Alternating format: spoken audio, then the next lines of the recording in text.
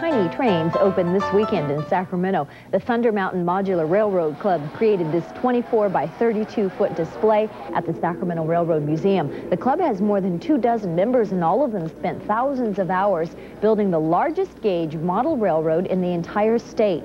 The lifelike terrain, miniature towns are all carefully constructed to look as real as possible. It's a fascination for both children and adults who come to enjoy the show. If you missed it this weekend, don't worry. There is still plenty of time to climb aboard next Saturday and Sunday. Very and now it's up all day. Choo-choo enthusiasts can get an eye and an earful, earful in, of the railroad in miniature. Terry Cox takes us for a ride next. But first, clouds were the story made from chopsticks, and dirt from Auburn is plastered to styrofoam. Enter a world that is centered around the railroad. Terry Cox is here to take us to a modular railroad display, display that's attracted a thousand spectators this weekend. And you know what, Scott, it's nice because you don't have to be a railroad buff to want to see this display. I think evidence of that is in the number of people who visited the Big Four building in Old Sacramento today. It's truly a model display that can't be missed. No, this isn't a scene out of Mr. Rogers' neighborhood. It's a scene from a 104-foot modular railroad produced by the Thunder Mountain Modular Railroad Club. It's complete with a logging yard, a downtown dentist, even a drive-in. And for every module, you can bet there's a story. Yeah, we all put, have a story that we like to tell about it, or we, you know, we have a town scene, that type of thing, and we like to put a little history to it. It, it helps make it look like the real thing. Even without the storytelling, every piece is so intricately done, it's convincing. And every time you look at it, you see something new. The 25 members of this Sacramento-based club are trying to hold on to locomotive history, even if the industry isn't. You see diesel engines are replacing steam, and slowly going are the days of the caboose. The rail fans are really sad to see it go. So anytime we see a caboose, we're ecstatic to see one run because we feel that that's part of railroading. And the little boxes that they put on the end of the trains with a little red flashing light, to us, is just not a railroad without a caboose. This hand-built trestle is a part of four modules modeled after Truckee. Each module required four to 5,000 hours of work.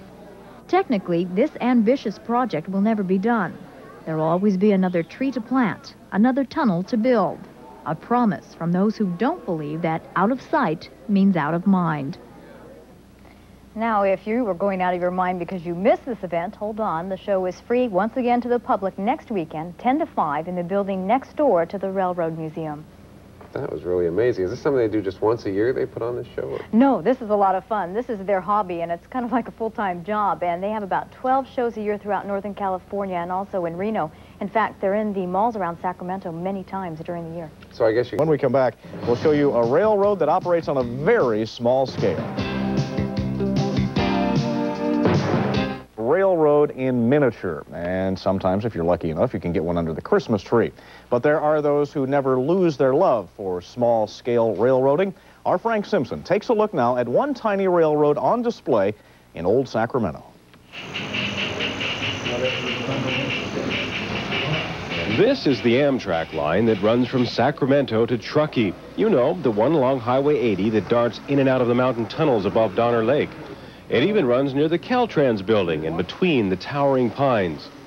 Well, that's almost the case. This railroad is privately owned and operated, and although its track probably exceeds a thousand miles, the train always ends up right where it started.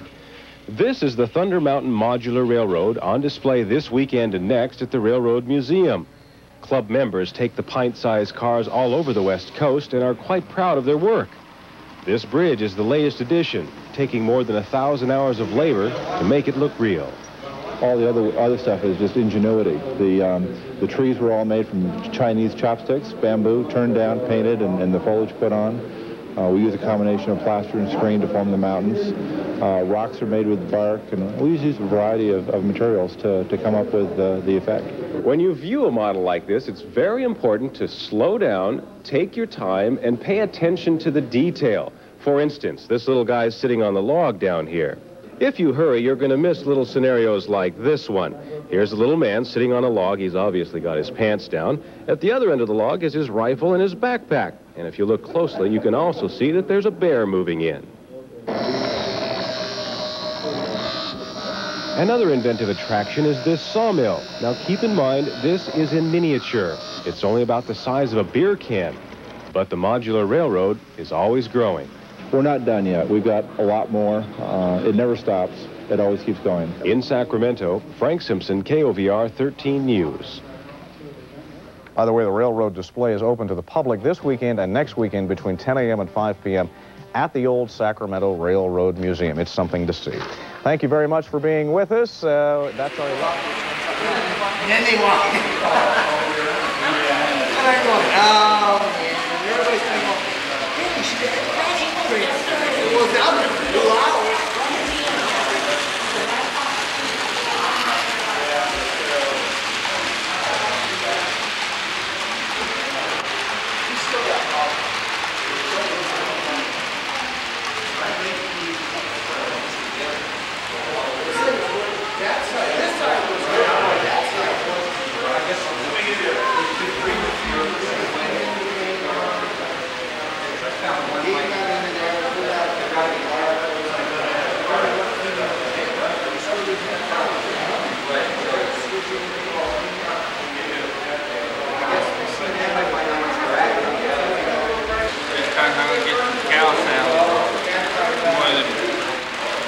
constantly people put it under there.